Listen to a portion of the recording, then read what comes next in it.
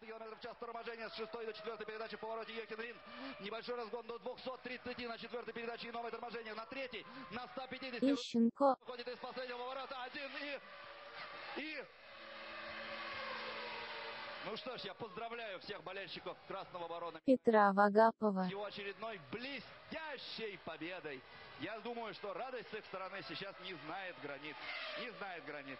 После подписания двухлетнего контракта Денису Ещенко, показали на его место в самом последнем повороте. Ну что ж, Петр Вагапов, восполнил то самое пятно в своей биографии, и теперь у него э, хватает и победы Акаями. Очень э, важным Никиты Решатова кончилось топливо. на самом последнем круге.